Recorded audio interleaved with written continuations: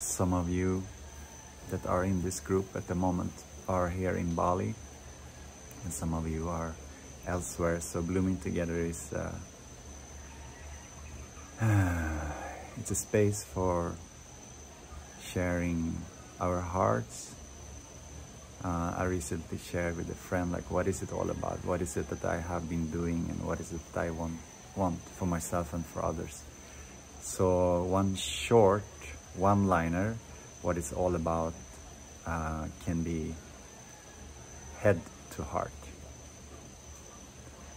So blooming together at the moment is everything that supports us from head to heart. I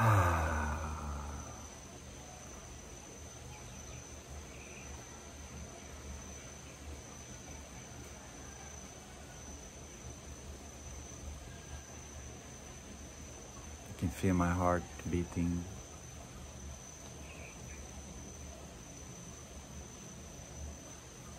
Different insects, birds, and the water in the backdrop, the roosters. Feel my heart beating.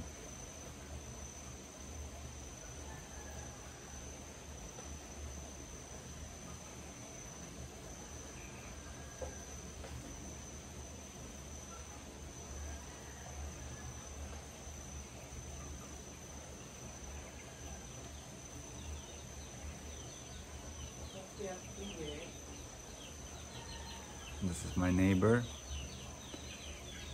Om Swastiastu Selamat Pagi. Yeah. Um, so what I'm sharing comes from me, of course, and some of what I'm sharing I have received from my teachers. One of my teachers over the years is uh, Gurudev Sri Sri Ravi Shankar, and he has like a quote that I have shared sometimes, and it is like that we as babies we were born with silence in our hearts. We were born with sincerity and peace. And as we grew up, somehow we lost this silence, this peace in our hearts. And we moved up in our heads and with different perceptions and different beliefs and judgments about ourselves and the world. So he shares that the journey from the head to heart is the reverse journey of yeah we're actually complete and enlightened we we are we are okay we are complete when we are in the womb when we are newborn. We have that peace in us and we we still have it. It's just that somehow most of us have forgot it. So the journey back to the heart is is what he shares about enlightenment. So sometimes I share what I have received from Sri Sri Ravi Shankar, his teaching. And nowadays, since the last years, I have another teacher who lives here in Bali. It's a traditional teacher in Vedanta. Vedanta means self-knowledge. Veda means knowledge. Anta means the end portion of the Vedas. And it, that part of the Vedas is talking about me.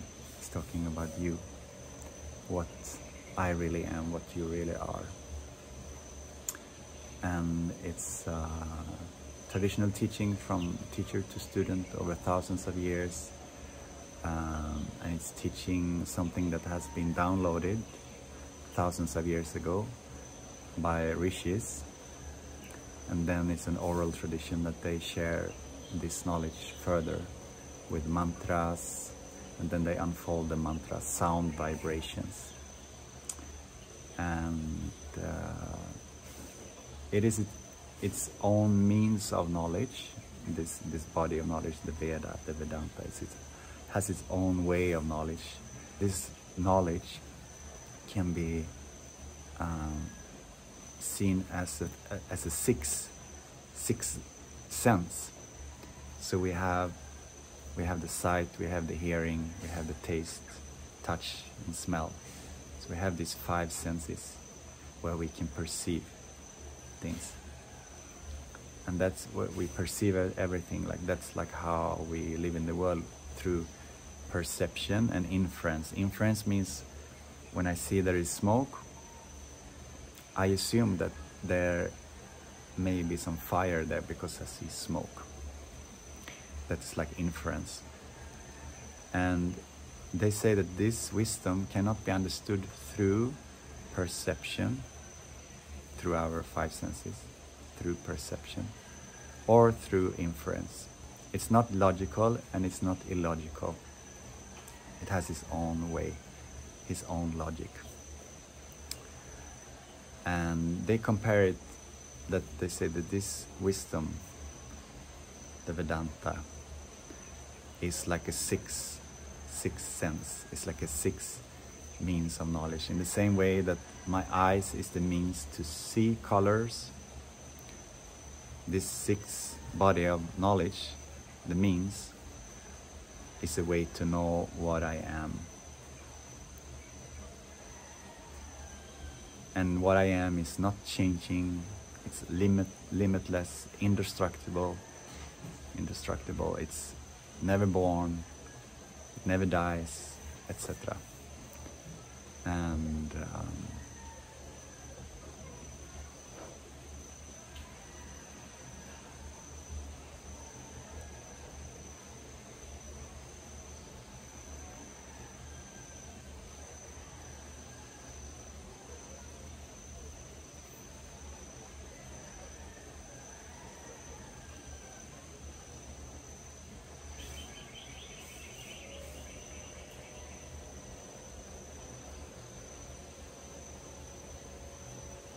Yeah, so they're making the description, the symbolic description, like in the same way that the, I need the ears to hear sound and the eyes to see color.